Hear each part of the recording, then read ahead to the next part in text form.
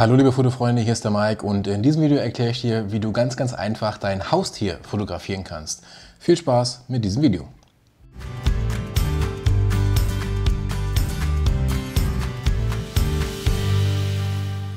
Schön, dass du da bist, das Video anschaust. Wie immer, wenn es dir gefällt, lass einen Daumen nach oben da, teile das Video mit Freunden und Bekannten und nicht vergessen, die Abo-Glocke zu drücken, dann bekommst du immer alle Videos in dein Postfach hinein. Vielen Dank.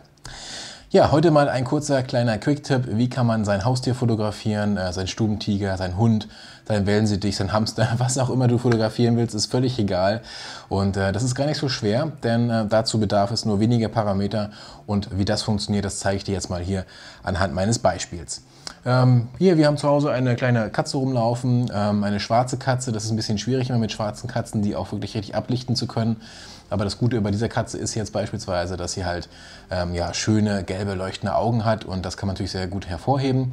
Und was macht man, wenn die jetzt hier durch die Gegend flitzt und irgendwie rumtobt? Ganz einfach, du stellst deine Kamera wie folgt ein. Als erstes einmal stellst du die Kamera in den M-Modus. Der M-Modus ist der sogenannte manuelle Modus, das heißt, da kannst du alle Parameter, alle wichtigen Parameter deiner Kamera komplett selbst einstellen und das wollen wir. Und äh, was du zuerst einstellst, ist auf jeden Fall erstmal eine relativ kleine Blendenstufe. Das ist das mit dem F davor. Also F ist immer die Blende, Aperture nennt sich das auch.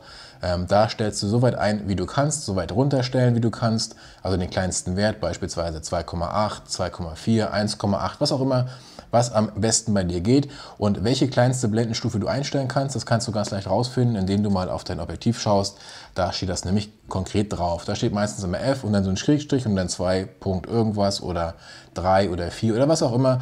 Da am besten mal gucken und diese Zahl, die da drauf steht, die stellst du dann mit dem meistens mit dem Wahlrad hier oben an dieser Kamera beispielsweise, stellst du dann diese Blendenstufe auf jeden Fall erstmal ein.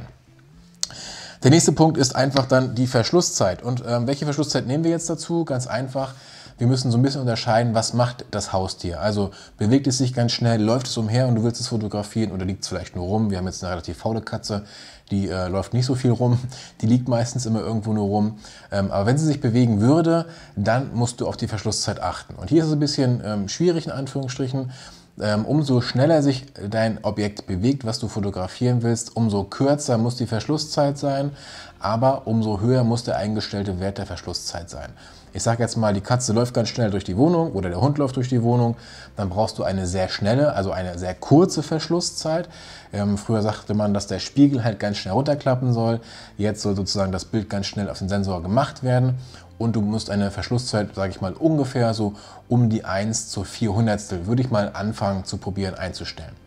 Also je nachdem, wie schnell das äh, ist, was sich bewegt, es kann auch ein Auto sein oder irgendwas anderes, ist völlig egal. Wir machen das jetzt hier mit unseren Haustieren einfach mal. Also umso schneller das Haustier ist, umso kürzer muss auch die Verschlusszeit sein. Also umso schneller der Hund, deine Katze auch ist, dein Hamster, umso schneller der rumläuft, ähm, umso schneller muss der Spiegel beispielsweise oder der Sensor muss runterklappen und dann wird das Foto entsprechend gemacht. Da so ein bisschen rumprobieren. Ähm, was auf jeden Fall nicht geht, ähm, eine lange Verschlusszeit logischerweise. Also du kannst jetzt hier nicht drei, vier Sekunden be belichten, weil sehr wahrscheinlich natürlich das Tier sich in dem Moment auch schon wieder bewegen wird, was zur Folge hätte, dass das Foto natürlich nicht mehr scharf wäre.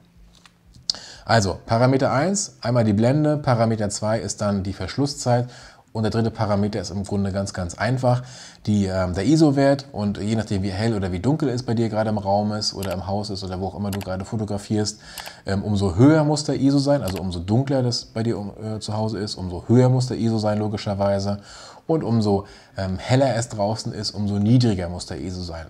Damit du dich aber damit nicht so befassen musst, stellst du den ISO einfach auf Auto. Denn dann macht die Kamera folgendes. Sie sucht sich die passendste Belichtung, sage ich mal, in der Umgebung heraus und gibt dir sozusagen dann automatisch den ISO, den du halt brauchst. Also ISO einfach auf Auto lassen.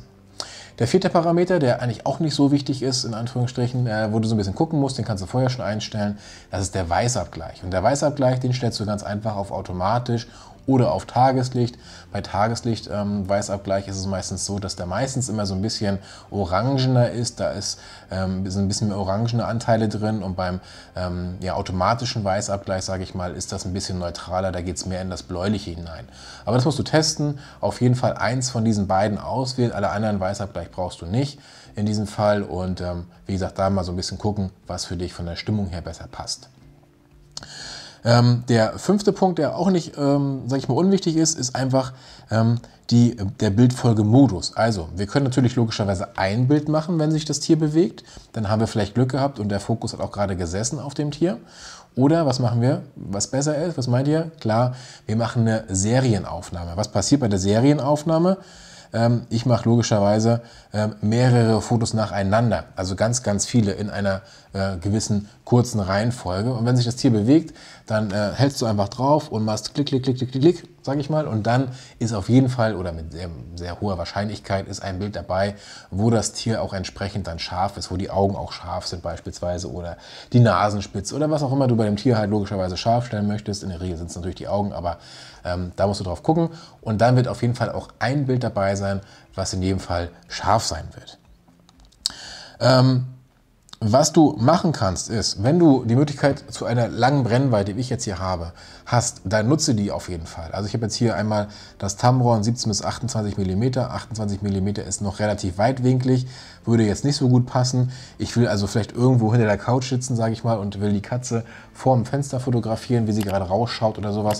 Dann wäre natürlich so eine lange Brennweite viel, viel besser, weil dann kannst du irgendwo in der Ecke sitzen, kannst das Tier so ein bisschen beobachten, was es gerade macht und im richtigen Augenblick dann einfach abfeuern und dann wird mit Sicherheit auch ein äh, passendes Bild für dich dabei sein.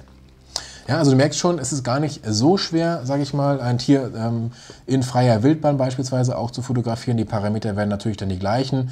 Mit der Blende kannst du immer so ein bisschen rumspielen, weil natürlich umso offenblendiger du fotografierst, also umso kleiner die Blendenzahl ist, umso offenblendiger du fotografierst, umso eher ist es wahrscheinlich, dass natürlich nicht alles scharf sein wird. Dann kann es sein, dass nur das Auge scharf sein wird von der Katze oder von dem Hund, was auch immer du fotografierst, und der Rest eben nicht mehr unbedingt ganz so scharf sein äh, wird. Das heißt, da wieder ein bisschen probieren. Wenn du dann die, die Blende einfach ein bisschen weiter schließt, dann wird dir ein bisschen Licht flöten gehen, aber das kannst du im Grunde dann wieder aufholen, indem ja der automatische ISO eingestellt ist. Die Kamera weiß im Grunde dann, oh okay, es ist äh, gerade noch zu dunkel oder es wird dunkler, dann schraube ich mal automatisch den ISO einfach ein Stückchen höher, damit das Bild nachher auch optimal belichtet sein wird. Und das war es im Grunde auch schon. Und dann einfach gucken, zwischendurch mal wieder so ein bisschen ähm, die Bilder anschauen, so ein bisschen aussortieren, so ein bisschen mal auch reinzoomen. Und wenn du das Bild bewertest, empfehle ich auch mal meinen Workshop-Teilnehmern, schau dir das Bild nicht auf dem Display an. Das Display ist meistens immer etwas verfälschter. Schau dir das Bild auf jeden Fall hier durch den Sucher an, geh richtig ran und zoom dann auch rein. Und dann hast du auch eine optimale Beurteilung deines Bildes. Das nochmal als kleiner Tipp nebenbei. Das war's auch schon. Also ich hoffe, das hat dir so ein bisschen geholfen und jetzt weißt du, wie du dein Haustier fotografieren kannst zukünftig, dein Hamster, dein ganz schnell laufenden, deine Rennmaus oder was auch immer du hast. Ähm, test es am besten mal aus und äh, wenn du weitere Informationen brauchst zum Thema Tierfotografie, dann lass es mich wissen. Schreib gerne mal einen Kommentar unter das Video und dann helfe ich da gerne weiter. Ansonsten nicht vergessen, wie immer, Daumen nach oben, das Video teilen, kommentieren und natürlich die Glocke drücken für alle aktuellen und neuen Videos in dein Postfach. Falls du Lust hast und Kanalmitglied werden möchtest und das Ganze hier unterstützen möchtest, das ganze Projekt Fotografie und du vor allem mitbestimmen möchtest, dann schau dir mal den Link zur Kanalmitgliedschaft an. Vielleicht ist das was für dich und vielleicht ähm, ja, kannst du da ja Mitglied werden. Weitere Informationen wie immer einfach unter dem Video da mal reinklicken. Gut, bis zum nächsten Video. Alles Gute, viel Spaß mit deinen Tierfotos. Wenn du eins hast, schick es mir gerne mal zu. Kannst du gerne machen an moin.mike-herford.de, dann kann ich es gerne mal beurteilen. Und vielleicht machen wir auch mal eine Bildkritik zum Thema Tierfotografie. Ähm, aber das dann zu einem späteren Zeitpunkt. In diesem Sinne, bleibt gesund, bis zum nächsten Video. Alles Gute, dein Mike. Ciao, ciao.